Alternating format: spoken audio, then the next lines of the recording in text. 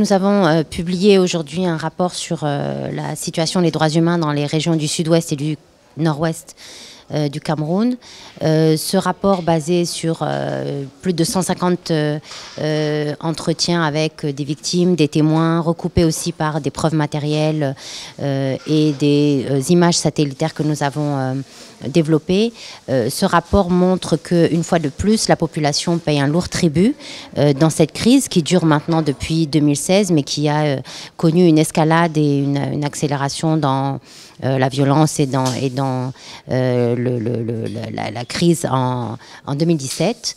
la population civile est fait l'objet de prise entre deux feux, à la fois attaquée par des séparatistes armés qui ciblent principalement des forces de sécurité, mais aussi des citoyens ordinaires, que ce soit des enseignants, des élèves, euh, des chefs de village euh, ou simplement des, personnes qui ne veulent pas épouser leur cause. Euh, et de l'autre côté, les forces de sécurité, dans le cadre de leurs interventions de sécurisation des zones, qui ont commis un certain nombre de violations, que ce soit des arrestations arbitraires, des cas d'exécution extrajudiciaire, de destruction de biens, etc.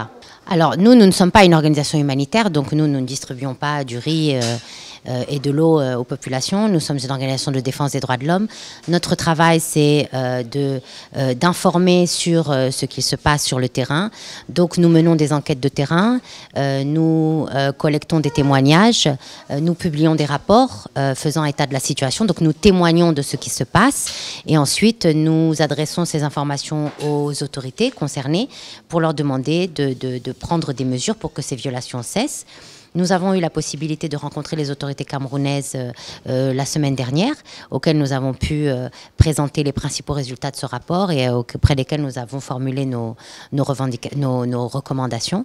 nous espérons que ces recommandations vont être prises en compte. Il est non seulement de la responsabilité des autorités de mettre un terme à cette situation, mais il est aussi de la responsabilité des autorités de lancer des enquêtes sur les exactions et les actes que nous nous documentons dans notre rapport, euh, de donner un signal fort euh, à la fois aux populations d'apaisement et, de, et de, pour regagner la confiance, euh, mais aussi un signal fort auprès des forces de sécurité pour les rappeler à l'ordre et leur rappeler que et la sécurisation et les opérations de maintien de l'ordre ou les opérations de, de sécurisation ne peuvent pas se faire à n'importe quel prix, quel que soit l'adversaire qui est en face de vous.